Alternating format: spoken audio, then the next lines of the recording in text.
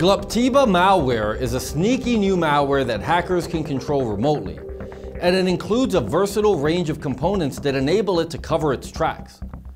Glupteba updates itself using encrypted messages that are hidden in the Bitcoin blockchain. The Glupteba bot creates backdoors with full access to contaminated devices, which are added to its fast-growing botnet. It is thought to be a highly self-defending malware with enhancing features that enable the malware to evade detection.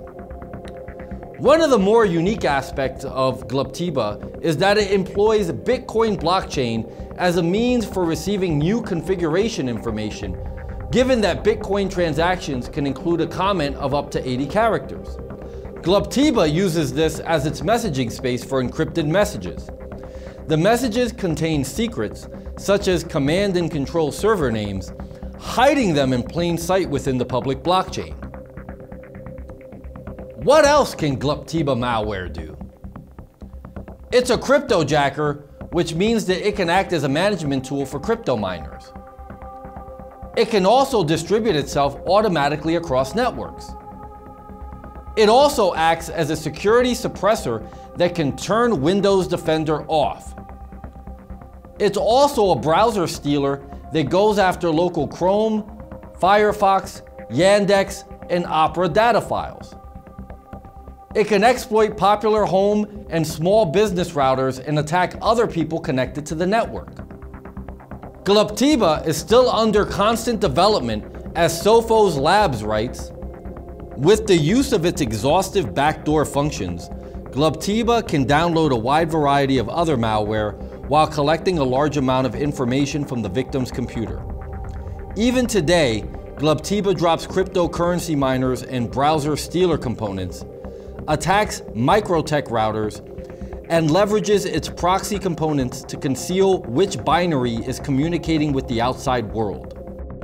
CTO at security firm Casa, Jameson Lopp, has described the malware as an unstoppable app. This sophisticated malware is another example of the non-monetary use of the blockchain and its uncensorable public ledger, including virtual power plants and open digital ID system. Some of the practices you can engage in to protect yourself are, look for updates on your system. Make sure that your operating system, apps, and devices like routers or servers are up to date.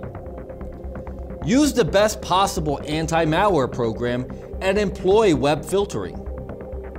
Stay away from cracked software programs that you can download on the web for free and pay for licensed version. Because generally, when it comes to software, free is not better. And those too good to be true programs are usually infected with malware. You know, as I think about the dangers that exist online, not unlike the subjects we learned about in this video, I know I feel a lot better having an anti-malware program like SpyHunter installed in my PC, providing me the protection I need against malware, and I think you should too. SpyHunter 5's strongest features are found in its malware repair capabilities. SpyHunter 5's remediation algorithms dive deep into your system to remove and address complex malware issues affecting PCs today. While many anti-malware products only flag and quarantine malware and ultimately fail to fully remediate the root problem, the SpyHunter 5 remediation algorithm detects, quarantines, and programmatically repairs malware problems on your PC.